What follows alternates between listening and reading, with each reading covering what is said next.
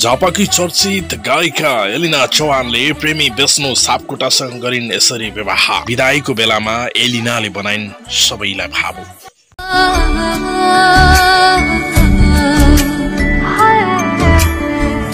झापाकी चर्चित गायिका एलिना चौहानले प्रेमी विष्णु सापकोटासँग लगनगाँठो कसेकी छिन् उनले झापाको बिर्ता मोडमा आज धुमधामका साथ विवाह गरेका हुन्।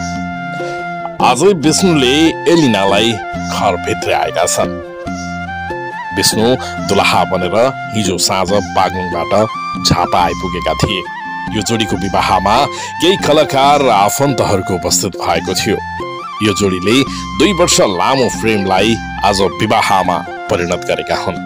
केही समय अगाडि यो जोडीको प्रेम सम्बन्ध टुटेको चर्चा चलेको थियो। एलिनाले यो विषय झुट भएको दावी गर्दै आएकी थिइन्। एलिनाका अनुसार विष्णु अस्ट्रेलियामा व्यवसाय गर्दै आएका छन्। उतै भेटघाट भएर दुईजना बीच निकटता बढेको एलिनाको भनाइ छ। दुई वर्षपछि निकटता बढिसकेपछि आज अन्तत दुईजनाले विवाह गरेका छन्।